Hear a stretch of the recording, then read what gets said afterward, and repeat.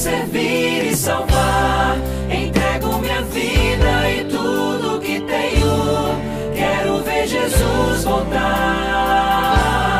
Quero ser a luz. Meu coração é